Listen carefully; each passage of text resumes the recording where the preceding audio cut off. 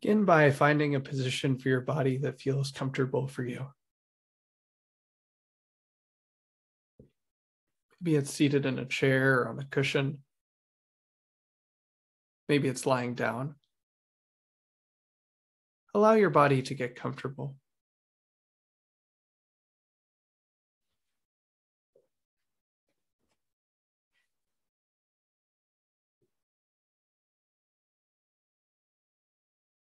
Feel free to make as many adjustments as you need to establish comfort in the body. And you can do that at any time. If you become uncomfortable, reestablishing comfort in the body.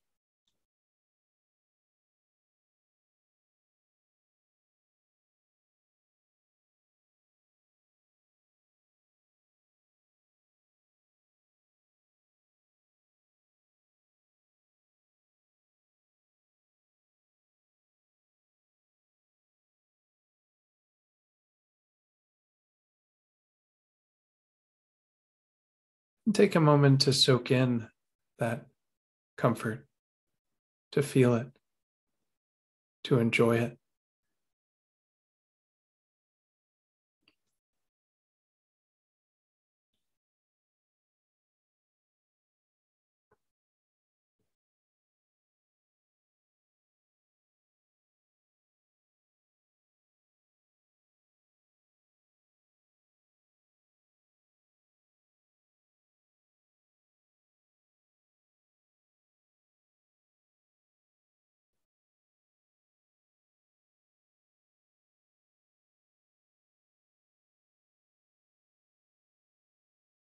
And notice if there's any tension in your body, any tightness.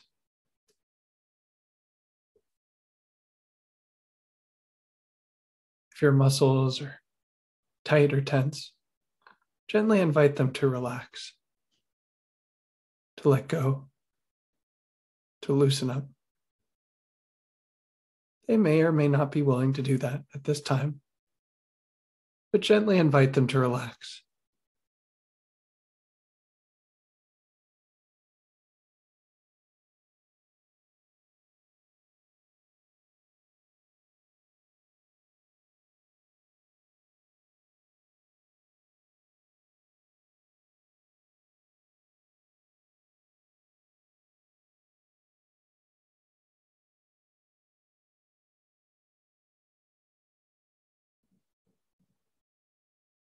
And again, notice and enjoy that relaxation.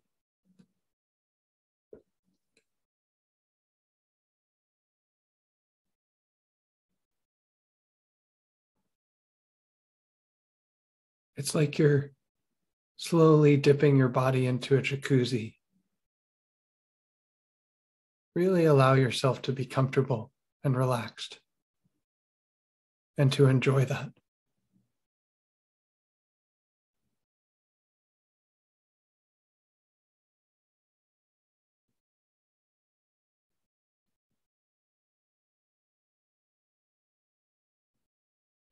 And if you'd like, if it feels good for you, invite a gentle, easy smile to your face. It doesn't have to be a huge grin, just a gentle smile, slightly turning up the lips. And feeling what smiling feels like.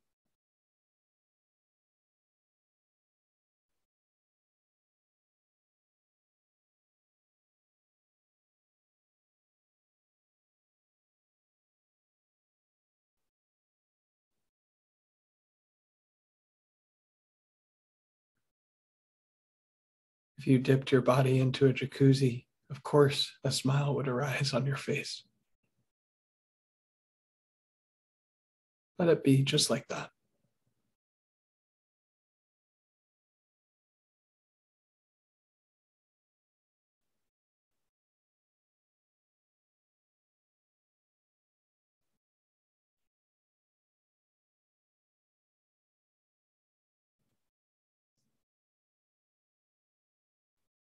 It really is like a place that you've entered. a place of comfort and relaxation with a gentle, easy smile on your face. That's where you are in your body, this place. And without leaving here, see if you can begin to involve your mind in the practice. In particular, by reflecting on anything in your life that you can summon a sense of gratitude for.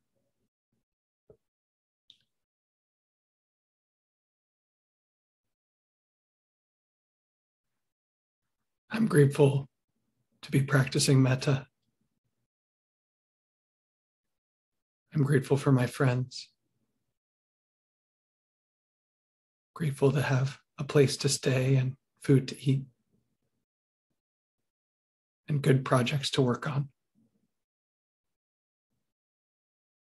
Bring to mind whatever resonates for you, whatever brings up that sense of gratitude for you. And hear yourself saying these things in your mind. I feel grateful for this, and I feel grateful for that. Really hear it in your mind.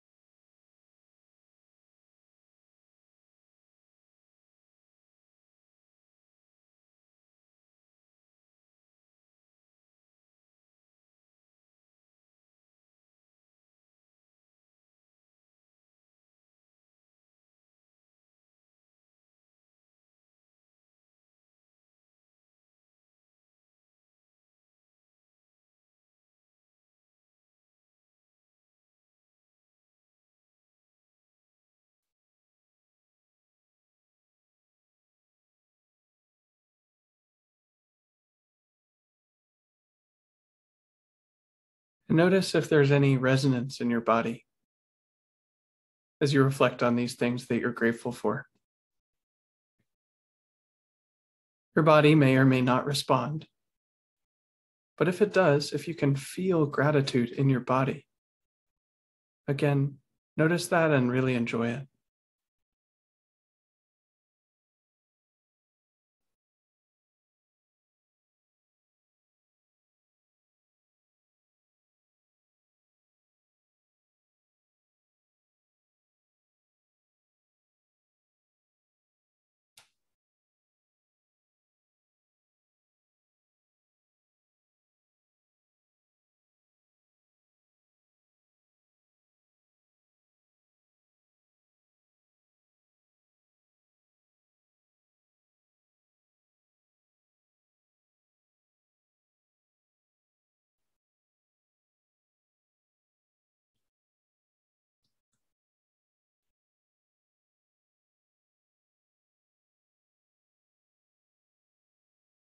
Very good. Now, bring to mind someone who's easy for you to feel love for. Any person or animal, real or imaginary, that's easy for you to love.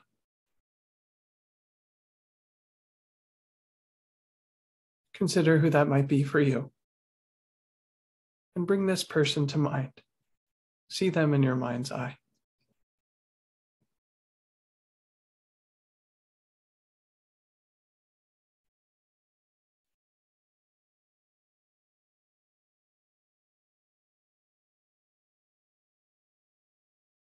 In particular, imagine them being happy, perhaps smiling or laughing, recalling a memory that you shared with them, or whatever is appropriate to who they are. Imagine them being happy as a way to cultivate the desire that they might be happy, to wish that for them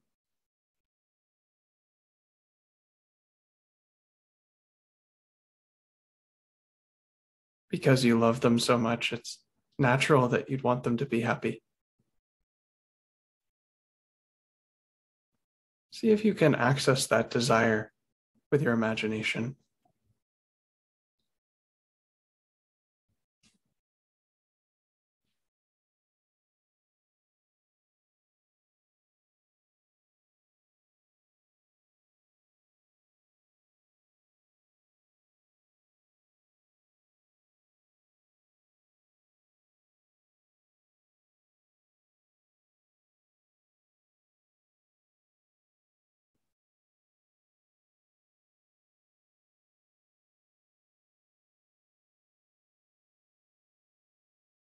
As you do this out of the corner of your eye. Keep an eye on how your body responds to this technique. If any joy or love or happiness arise, if it bubbles up, again, notice that and really enjoy it. Often just bringing to mind this person that you love so much will bring a smile to your face or warmth into your heart.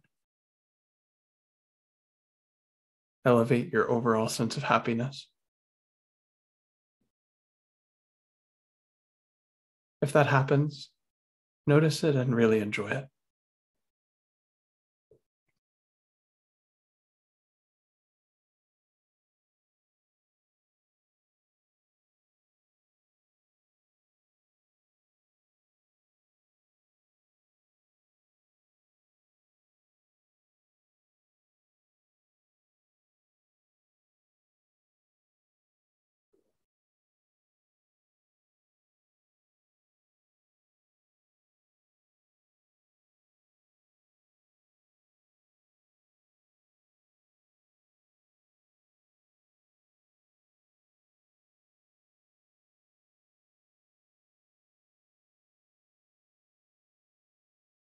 If it's helpful, you can use phrases in your mind, saying things like, I love you, or I care about you,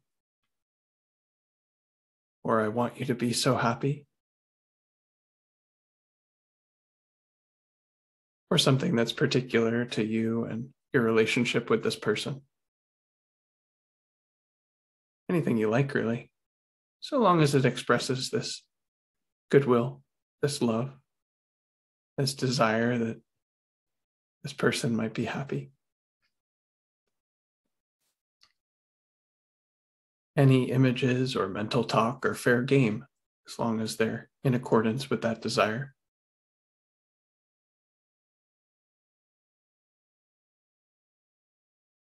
You get to decide how to practice. Simply cultivate this intention of goodwill and love.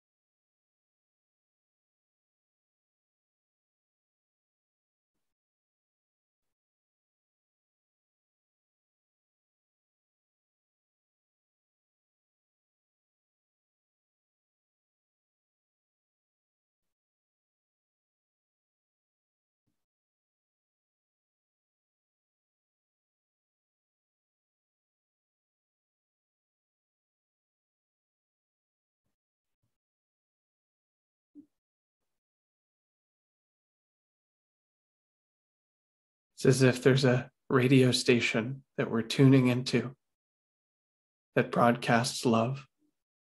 And we're using our easy to love person or animal to find that station, to tune into it. But it's not actually about that person. Everyone deserves the same love, the same care that you're just sending to this person your easy to love person or animal. See if you can sense that. Everyone is worthy of the same love and care simply for being alive, for being a living being.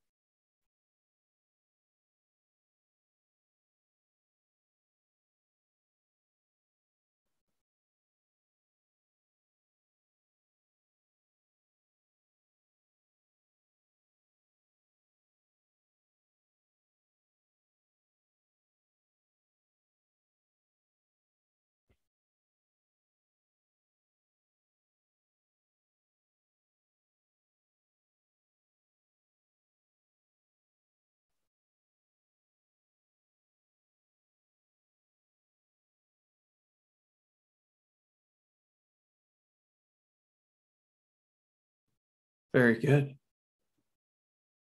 Now, bring to mind someone who's not so easy for you to love.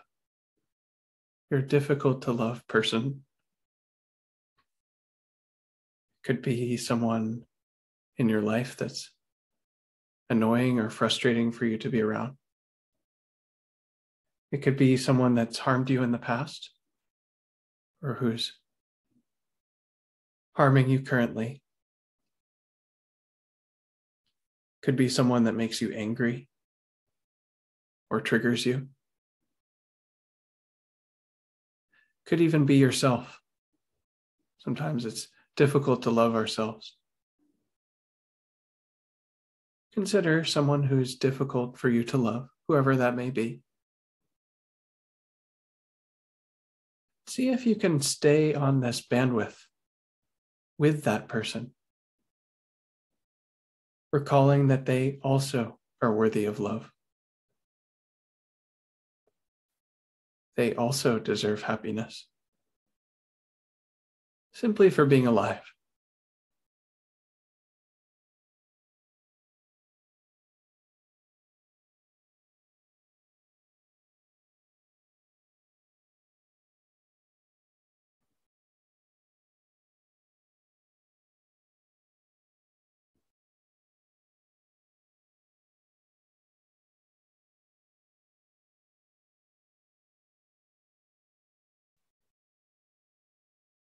This may prove difficult. If it does, you can always go back to your easy to love person, going back and forth as many times as you need to.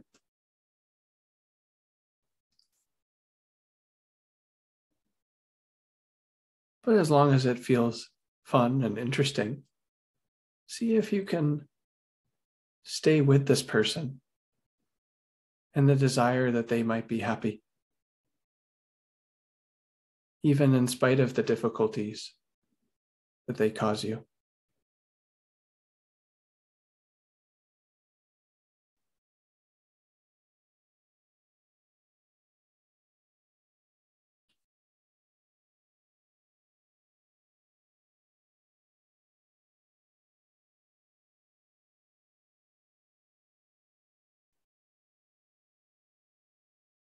There's a few tricks that can help with this. One is to recall that this person was once a small child, an innocent baby, untainted by their actions or habit patterns, who had parents that loved them and wanted them to be happy, wished the best for them. Perhaps by imagining them as a small child, you can access that same love for them, even in spite of who they've become and the difficulties that they cause you.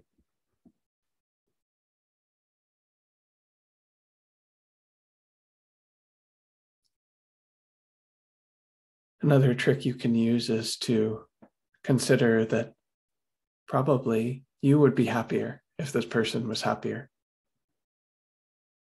From a self oriented perspective, it benefits you if this person is happy. And so you can wish that for them. No harm in that. As long as it's good for them and for you, it's wholesome, commendable.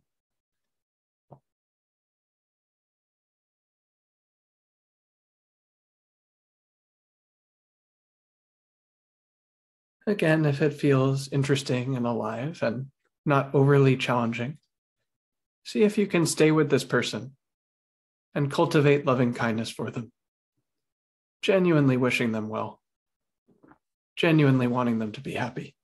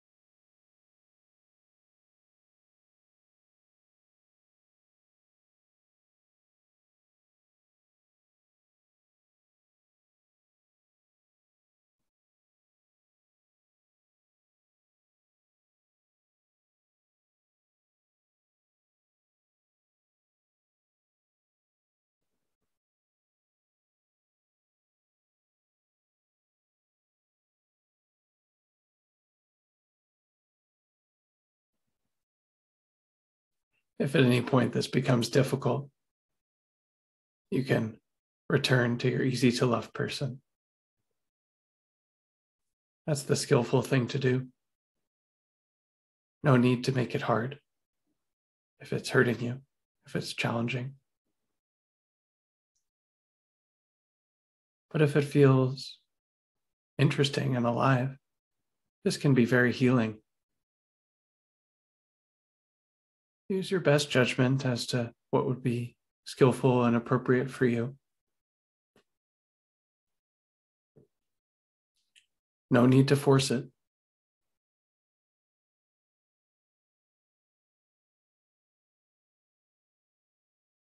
See what seems best for you.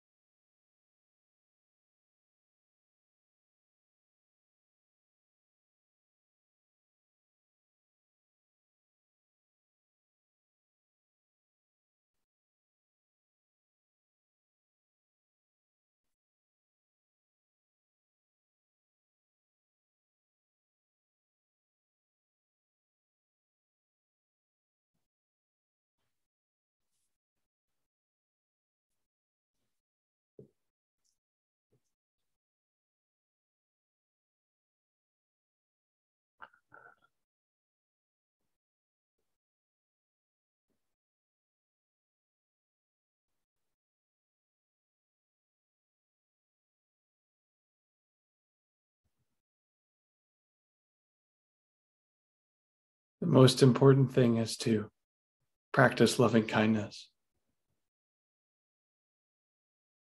It's not so important who you direct that loving kindness towards.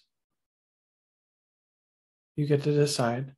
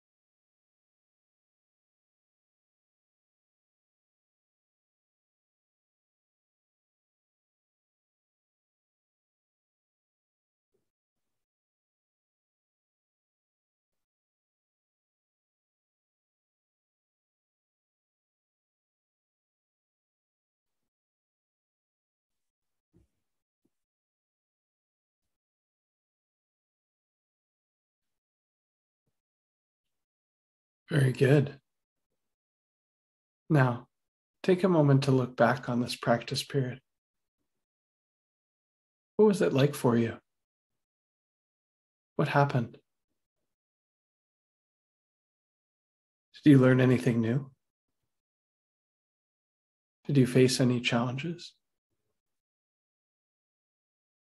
Let yourself integrate whatever wisdom has come from this session.